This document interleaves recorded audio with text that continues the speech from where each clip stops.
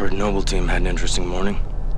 Yeah, they surprised a couple of SEIs trying to hijack a supply transport. Innies never even saw him. Insurgents versus Spartans. It's not even a fight.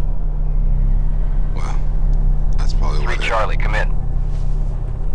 Three Charlie, copy. Prep your team for immediate mobilization to Visegrad. We've lost contact with the comm relay hub. Possible insurrectionist activity. Roger. We're on our way. Three Charlie, out.